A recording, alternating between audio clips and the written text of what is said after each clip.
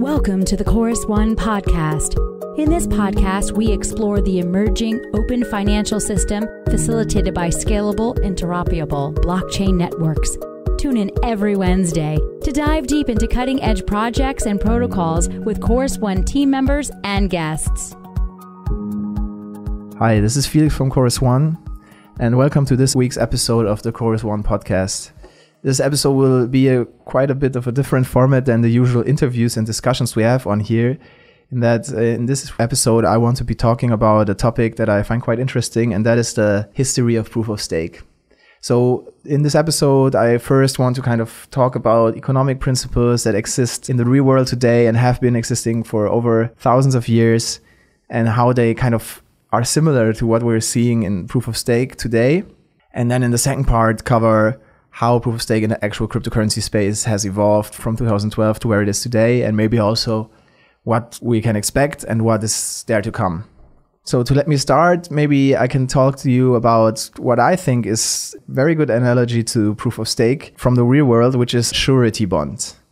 So to explain what a surety bond is, I want to use two examples from the early days of humankind, which are both like almost 4,000 years old. So the first one is about a farmer that had to leave to join the king's army and he had to leave his farm behind and he wanted to make an agreement with uh, another farmer that he will service his farm and they will share the revenues. But he also wanted to make sure that this farmer actually does it, so he will take on a third party, which was a merchant, to serve as the surety that the second farmer takes care of the farm. This took place, it's like a oral communication in the 2750 before Christ. But there's also another recorded history, which is actually engraved on the tablets from Mesopotamia, which is present day Iraq, that has been found like in the 19th century, which depicts an arrangement about the payment of corn, which was the currency at that time, where uh, there's also three parties depicted. So these three parties are the three constituents of a surety bond even till today, and you call them the first party the obligé, which is the person that is expecting some kind of obligation to be fulfilled. In this case, is the payment of corn. Then there's the second party, it's the principal. This is the party that is supposed to fulfill this obligation. And then there's a third party, which is the surety. This is the party that needs to make sure or take over the obligation if the principal fails to deliver on the promise.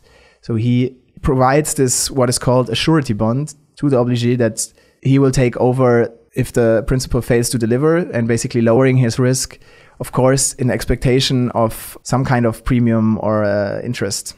In the second story, the obligé is actually the Babylonian king Dungi, and this tablet that was found in Mesopotamia even was recorded by some professional notary where there are actually four witnesses inscribed in this agreement. And since then, there have been a lot of these tablets found from the Mesopotamian area. And yeah, I find it quite interesting that this thing has been existing for so long and we're now seeing it in proof of stake. So let me tell you what I mean if I say that a surety bond is kind of similar to proof of stake. Basically, what you can think of is the stake. So the cryptocurrency that's being staked and in the proof of stake network is the surety bond. As a token holder, I stake my tokens with a validator, and through that, I'm providing the surety bond to the protocol, which is the obligé, that this validator will meet his obligation to stay online and to validate the transactions. And this makes the validator kind of the principal of this agreement. So obviously, the token holder does provide this surety only because he's expecting some future payments, which are the staking rewards and in, in, in, proof of stake network, even the surety bond can be claimed by the protocol, right? If there's a slashing, basically the principal has failed to meet his obligation. So the protocol can take away some of this surety bond, which usually happens if there's a double signing, for example, or in some protocols also if the party goes offline. But there's one difference between a normal, like a surety bond, that is how it's used in the real world and how it is used in proof of stake is that usually the premiums for providing a surety bond are paid to some kind of insurance company that wants to get the revenues or wants to take over the risk. But in proof of stake, it's actually paid by the obligé, like the protocol itself. So that's quite interesting how that is. And maybe to also, I have this also written as a post. Uh, you can find it on our blog I will link to it in the show notes, but maybe also just another example from how surety bonds are used in the real world to make you understand like the relationship a bit better. So usually the obligé in the real world is some kind of government authority that wants to have some, let's say, building built and contract some contractor for it. This is the principal the contractor has to fulfill this obligation. He has to build this building, but at the same time, the government authority might want to like lower their risk that this person or this firm won't deliver this on their promise. So they hire some insurance company that has to provide a surety bond if the obligations are not met and pay out so that the risk for the government authority is lowered. Insurance company obviously does this in exchange for some kind of premiums that the contractor has to provide them. Now that you understand the relationship between surety bonds and proof of stake, let's go into how these fundamental economic principles came about in the world of distributed systems and digital assets. So the history of proof of stake starts in 2012 with the inception of the uh, Sunny King and Scott Nadal, who first suggested like proof of stake as an alternative to the then already established proof of work used in Bitcoin. They also coined the term staking in this paper. And what they did was they described an algorithm that would choose the block producing nodes based on the amount of stake they had in their wallet and the age of the coins. And in 2013, they actually released Peercoin, which is still around today. And it was also the first hybrid cryptocurrency because Peercoin used proof of work to distribute the tokens and proof of stake to validate the transactions. So in a way, it's also interesting that already they realized, okay, some proof of stake coins have a bit of a problem with the token distribution. So they made use of proof of work to kind of distribute the tokens more fairly and widely, which I think is also a problem in some of the current proof of stake networks. Then in 2013, to continue with the history, many cryptocurrencies followed this design of Peercoin and tweaked some things of it. So notable examples include, for example, NXT, which uses like randomization to select a block produced based on stake. So in Peercoin, it was more like if you mined a coin and it was certain it had the age and then was like kind of the age and the stake. And when you were chosen as a block producer, the age of your coin kind of reset it. So that's how block producer were chosen in NXT. They use some randomization through the hashes on the blockchain. And this model has been used a lot also by other coins, for example, Blackcoin or Qtum use kind of similar staking mechanisms. But all of these have the problem or this idea of the nothing at stake attack. So the nothing at stake idea is that basically because it doesn't cost you anything as a staker to attack or to mine on a different fork than the one that is there, people would like mine onto different ones and you couldn't ever really know if you're on the right blockchain. In practice, there hasn't been many recordings or these currencies are all still around and maybe they don't have enough value or simply this attack doesn't really take place but still it is a theorized attack and other cryptocurrencies actually improved on it. An important cut in the history of proof of stake happens in 2014, around the time when Ethereum is announced by Vitalik Buterin. He also already thought about how to move away from proof of work and also saw proof of stake as one of the solutions to that problem and wrote an article about the slasher algorithm, which also gave birth to the term slashing that we use till today. And this algorithm was supposed to solve this theorized nothing at stake problem that other proof of stake implementations had. So if you look on the Ethereum blog today, you can still find this slasher post, which is quite interesting. And at the same time, Jae Kwon, the creator of Tendermint, which is the first BFT proof of stake, or actually it's a BFT protocol that is used both in permissioned and permissionless blockchains. For example, in Cosmos, and Kwon wrote a Tendermint paper, Consensus Without Mining, and Kwon was the first to kind of combine insights from Byzantine fault tolerant research in distributed systems with kind of the notion of digital assets and came up with Tendermint, which is also the first mention of using cryptocurrency as the bond to ensure behavior of the actors in this proof of stake system. And also in 2014, so this was quite an eventful year for proof of stake. Daniel Larimer launched BitShares, which was the first blockchain that used his version of delegated proof of stake. Basically, the consensus participants are also chosen by their stake, but they are voted into this validator set through the stake. So basically how DPoS works is you have a fixed set of validators and then based on stake and every few time periods, uh, voting happens where it gets decided who stays in the set and who gets out. This DPoS scheme was also later adopted by Lisk and Steemit and EOS. So this model was also quite successful, but nowadays most of the proof of stake implementations we see are based on this idea that the stake actually is the deciding factor who gets to vote on a block and how much someone's vote in the consensus process counts. So then there was a quiet phase actually between like these very eventful 2014 because people were building their protocols and researching their stuff. And in 2015 and 2016, there was not that much uh, happening in the proof of stake space. So 2015 marked the year where Ethereum launched using the Ethash proof of work algorithm that's still there today. So even though Ethereum like has been planning to move to proof of stake since the beginning, actually, there's still uh, actually now it's very close. Let's say, hopefully. But since then, it's been proof of work and it is still there and probably it's going to stay, the proof of work chain is going to stay there for quite some while. While uh, in 2016, something new started to happen. And what that was is uh, the Cosmos white paper was released, which described the proof of stake system that used Tendermint consensus and basically described this internet of blockchains. So like of like a network of multiple blockchains and how they communicate, intercommunicate out of all of these different BFT networks.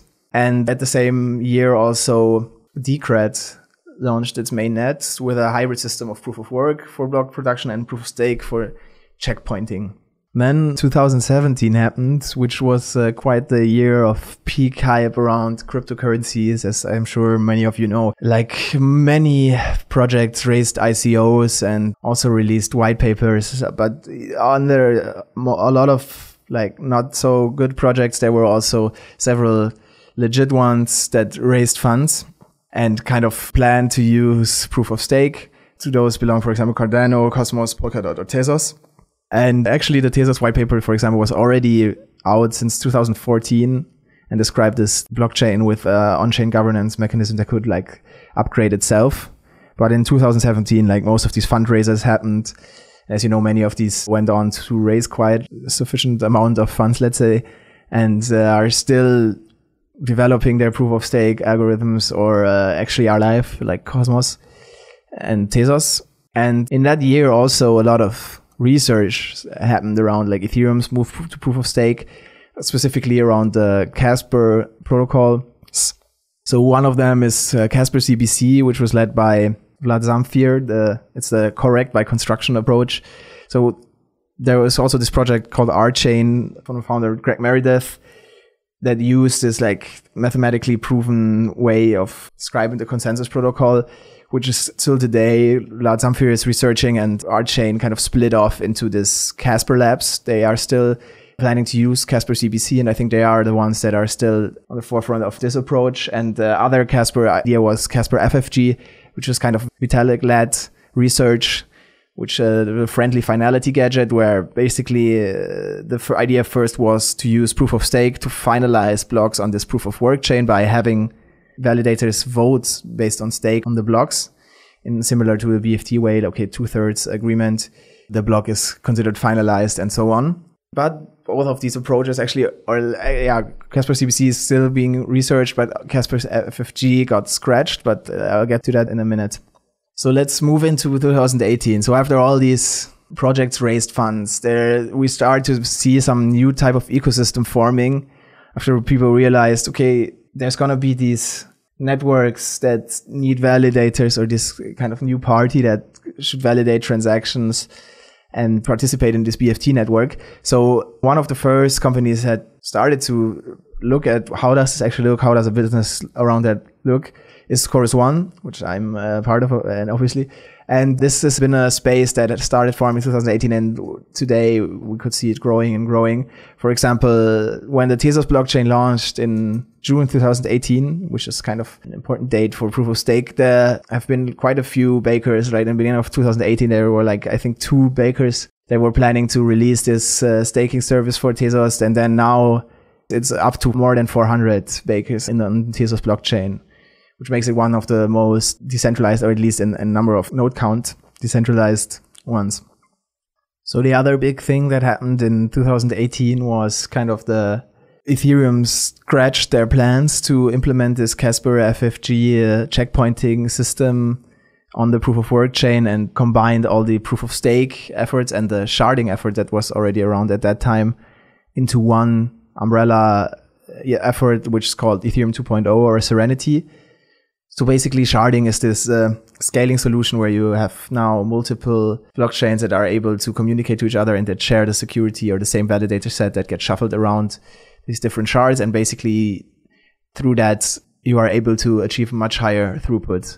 And this has been researched since 2018. I think at Devcon, it was fully announced that this will be a combined research effort and the different phases were announced, how the transition is actually going to happen, what will be part of the Ethereum 2.0 chain, for example, uh, EWASM and state rent and so on. And then another thing that happened in 2018, you started to see the Cosmos validator ecosystem maturing. There were like lots of test nets happening. Uh, Cosmos code base got more and more feature complete.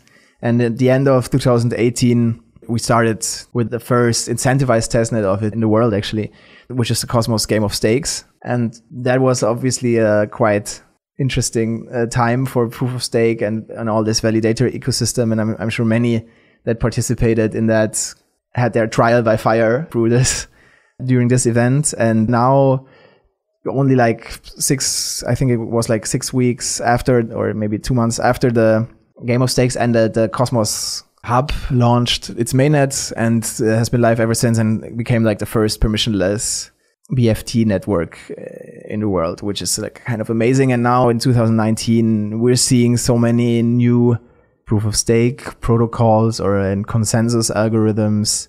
And uh, a lot of these networks that also raised money in 2017, 18 or 18 are now planning to move into launch or are in some testnet phase or planning to launch their own incentivized testnets. So it would be, it feels like we're moving into like a very exciting time for proof of stake. Just to mention like a few things, maybe you, you now have Polkadot and their hybrid consensus of like Grandpa, which is this finality gadget and uh, Babe, which is the block production consensus algorithm. We have Ouroboros, Genesis from uh, the Cardano or like the IOHK team, which is also, for example, used by Coda. We have like stuff like Hot Stuff, BFT. We had Libra using some BFT inspired, Tendermint inspired, uh, Hot Stuff inspired algorithm. We have many, many different networks like Solana, Skale, everyone uh, using some form of proof of stake and moving close to their launch phases. So I think it's very interesting and we will see what will happen this year. Also, the Ethereum 2.0 specifications are finalized. Like the, all these implementer teams are, are building their clients and potentially in the beginning of next year, we will see the, the beacon chain launching. So I think I hope this gave you some basic overview of the history of proof of stake and also how it relates to this old economic concept of surety bonds. And I think, yeah, we are still uh, in the very early days, as you can tell. Like right now, there's not that many networks actually online. Like many are in this testnet phase. And I think the next few months and years, we will see like a lot of innovation and a lot of experimentation, which is good, especially, I guess, around different incentive designs. How do you actually make sure your network is decentralized? How can you do better token distributions? We, we saw, for example, the Edgeware lock drop where you lock up your ether and you get a airdrop this other token. There's still the idea of photons in the Cosmos ecosystem where there might be like an airdrop of, of these tokens to, to Ethereum holders and many, many other different experiments. For example, this nominated proof of stake algorithm, which we had Alfonso on here to talk about in the second episode. There's uh, anti-correlation penalties. So for example, designing the slashing in a way that if a lot of the stake goes offline at the same time or double signs at the same time, the slashing is higher than if it's only one. And very interesting concepts that hopefully will make the network more robust, but at the same time also keep decentralization. And another concepts that come around and we can see in staking right now is kind of these exchanges also entering the game. We saw Poloniex offering staking for atoms. So uh, there is also some risk there where we can that we can might see where like maybe centralized parties make it easier for people to participate in staking by allowing, for example, you to trade your atoms or any other cryptocurrency while you stake it. While if you just use the normal delegation, you will have to wait the unbonding period in, in many designs. So there is also like lots of innovation happening around that. How can you achieve the same things in a decentralized fashion? So one of the ideas there are these delegation vouchers that we designed together with Zika, for example, which is basically some kind of way to have a fungible representation of your staking position that you can then kind of trade if you want to exit your staking position. And through that, maybe kind of level the playing field between custodial parties and uh, decentralized staking operators. So I'm sure there's like a lot of stuff coming up in these realms. I'm make sure to uh, follow us on Twitter to stay informed and subscribe to Staking Economy newsletter where I cover together with Chris Remus uh, the developments in, in the proof of stake ecosystem. So the, if you follow Stake Economy, I'm sure you will stay on top of everything that goes on in staking and also join our Telegram and engage in, in a discussion what ideas you have, what you are seeing in proof of stake and how you see it evolving. Thanks so much for listening. And until next time, I will put links to some of the stuff I mentioned in the show notes. And yeah, see you next week for another episode of the Chorus One podcast. Thank you for listening to the Chorus One podcast. Visit chorus.one for more information about our work. Don't forget to subscribe to the podcast to stay tuned on new episodes airing every Wednesday.